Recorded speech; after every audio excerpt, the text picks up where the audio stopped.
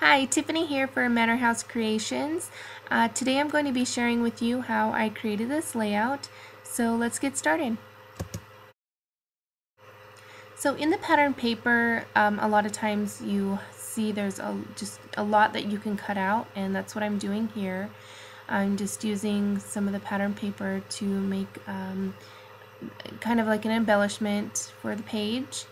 Uh, here I'm taking some texture paste and some pigment powder I am just taking a little tiny bit of that powder and I'm just going to be mixing it into the paste, uh, making it a, a very light pink color.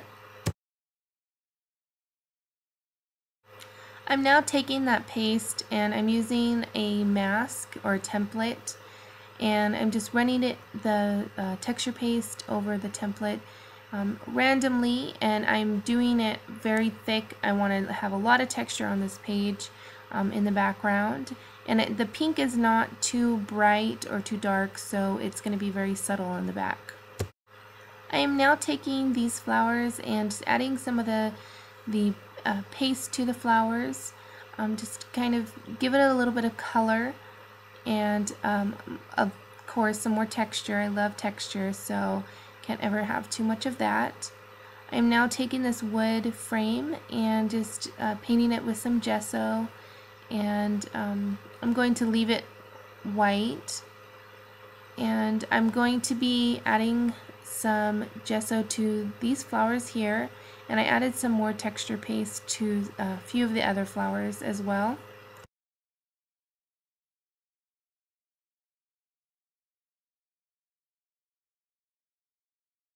I'm using that same mask and some a little bit of that extra texture paste and using it on this uh, pattern paper here that I'm going to be adding to the page. And you can see here I'm going to be adding the paper uh, to the page. I'm first going to be using this Martha Stewart border punch to uh, punch out just a little um, lacy border on the bottom there.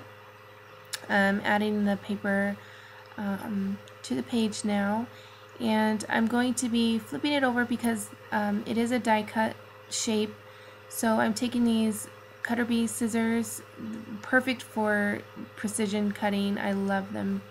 Um, and just cutting around where uh, you could see where the shape is.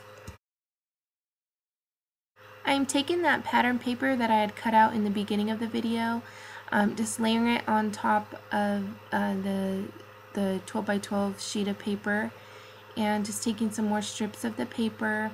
I did end up cutting out more of that uh, design there.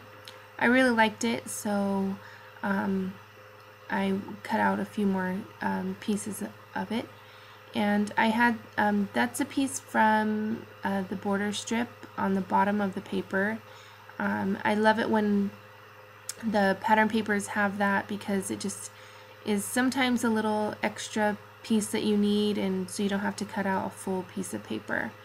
Um, and here I'm taking the scissors again and just cutting off all those extra little pieces.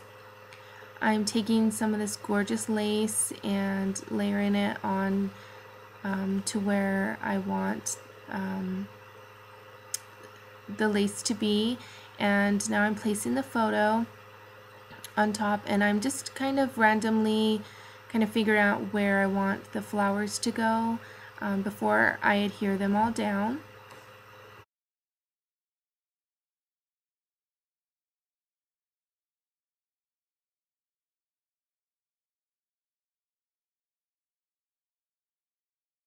The wood piece that I had painted earlier in the video, I had cut it apart and I'm just placing it around the photo there. And I'm just adding the last few uh, little touches with some butterflies. I always have butterflies on my layouts and um, that completes uh, the project and I hope you guys enjoyed the video and like I said if you have any questions please feel free to ask me and I will catch you guys later. Bye!